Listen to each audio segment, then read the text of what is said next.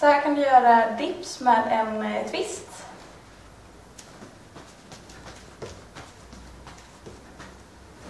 Hoppen gör att det blir eh, jobbigare för hela kroppen och sen kan du även få lite mer flås.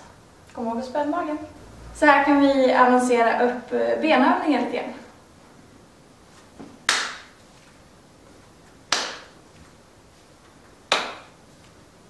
Clapmen gör att man måste spänna magen ännu mer och ha ännu mer fokus på överkroppen.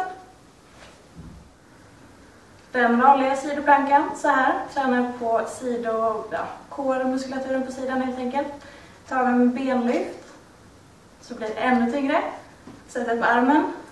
Jättehärligt.